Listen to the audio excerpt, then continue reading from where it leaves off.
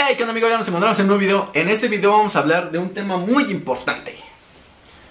Aquí está el mismísimo Black Spider.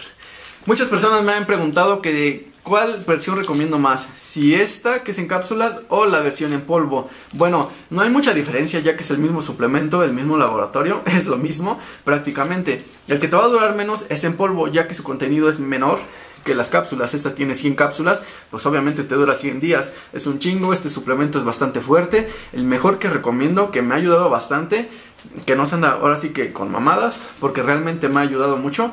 Y bueno, te da mucha energía durante todo el día. Yo recomiendo que se consuma desde la mañana y aunque entrenes en la noche, no importa, porque es muy fuerte.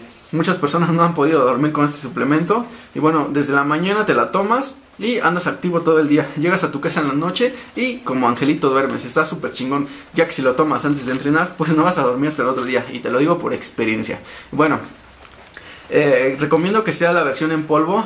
¿Por qué? Porque en polvo te pega más rápido. Pero si no te gusta el sabor, porque yo ya lo probé y sabe muy muy feo. De hecho este suplemento sabe muy muy culero porque está muy fuerte, muy concentrado. Incluso llega a provocar gastritis. Está muy muy fuerte.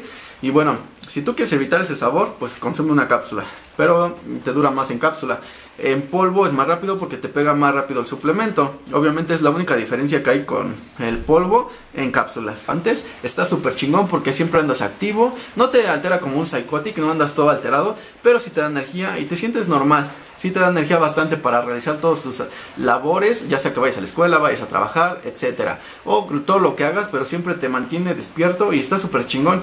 Y a la hora de entrenar, entrenas igual chingón, llegas a tu casa y descansas bien. Pero si tú lo tomas antes de entrenar, créeme, se va a tardar mucho tiempo en deshacerse la pastilla en tu estómago y en lo que te hace efecto todavía, te va a dar un insomnio muy culero. Eh, sí se puede combinar con cualquier preentreno. Yo lo, eh, lo, he combinado con varios preentrenos, incluso con el Psychotic. Bueno, yo ya me acostumbré. Yo ya sé que mi medida eh, normal es una cápsula del Black Spider y un scoop del Psychotic.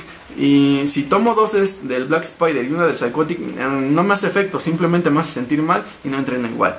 Pero bueno, esto ya depende de cada persona y la tolerancia de los suplementos ya que el Psychotic tiene eh, bastante cafeína y este también tiene 280 eh, miligramos de cafeína, que es bastante, o sea, créanme que si no están acostumbrados no lo hagan, empiecen con un suplemento primero.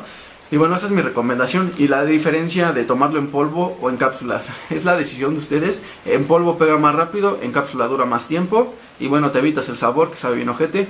Si van a consumir este suplemento, también consuman eh, ya sea omeprazol o ranitidina para evitar este, las úlceras en su cuerpo porque este como lo dije ya es muy fuerte este suplemento y les va a dar una gastritis bien culera. Y si no están acostumbrados les va a ir del nabo, ¿eh? así que acostúmbrense y este suplemento provoca náuseas, escalofríos, dolores de cabeza si no estás acostumbrado al principio, pero después te acostumbras y viene lo positivo, que te da energía, eh, mm, no te da sueño y vienes activo desde la mañana. Así que está muy muy chingón, son 100 cápsulas, dura bastante y lo recomiendo muchísimo. Esa es la gran diferencia de este suplemento.